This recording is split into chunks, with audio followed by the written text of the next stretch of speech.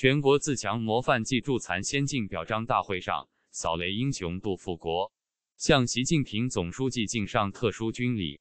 总书记左手握住他的手肘，右手轻拍其肩膀，致以亲切的问候。五月十六日，党和国家领导人习近平、李克强。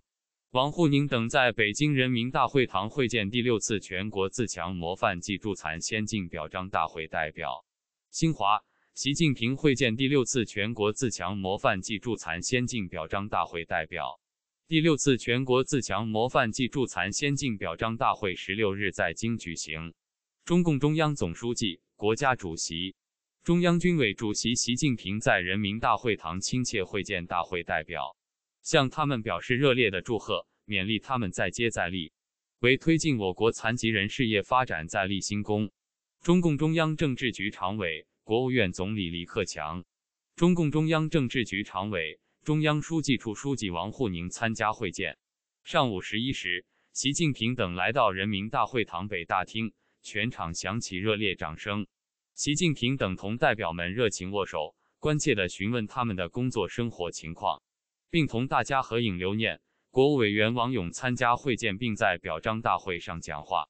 他说：“要以习近平新时代中国特色社会主义思想为指导，深入学习贯彻习近平总书记关于残疾人事业的重要论述和指示精神，加强组织领导，健全工作机制，创新工作理念，以更加有力举措做好残疾人工作，加快残疾人小康进程。”坚决打赢农村残疾人脱贫攻坚战，切实保障残疾人平等权利，推动残疾人事业健康发展。广大残疾人要以全国自强模范为榜样，进一步弘扬残疾人自强精神，努力创造更加幸福美好的生活。大会表彰了一百六十七名全国自强模范，一百个全国助残先进集体，一百名全国助残先进个人。一百个残疾人之家和三十三名全国残联系统先进工作者，身残志坚、倾心盲人按摩事业的严三元，不畏艰难、不惧生死的扫雷英雄杜富国，富有爱心、热心公益助残的宋桂华等三名获奖代表分别在会上做了发言。丁薛祥、陈曦、胡春华、黄坤明、肖杰参加会见。曹建明。陈晓光和中央军委委员张生明出席大会并参加会见。二十七岁扫雷战士失去双眼双手，你退后，让我来；你退后，让我来。这是杜富国受伤前说的一句话。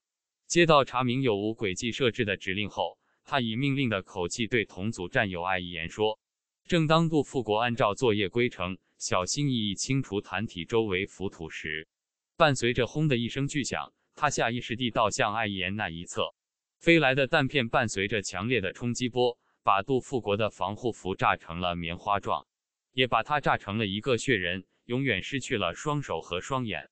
爆炸把杜富国的防护服瞬间炸成了棉条状。战友说，正是杜富国这舍生忘死的刹那一挡，两三米之外的艾言仅受了皮外伤。危急时刻舍生忘死，杜富国挡开战友。这不是影视剧里的片段，而是真实发生在我们身边的壮举。杜富国的微信名就叫雷神，他曾说过，每多排除一颗地雷，就给了老百姓多一分生的希望。这也许是他的微信名，还有他的姓名“复国”的全部寓意吧。如今，纵使目不能视，纵使袖口空空，但这个特殊军礼，让人瞬间泪目，为这一幕致敬。本期节目到此结束了。如果想获取更多内容，请订阅，谢谢。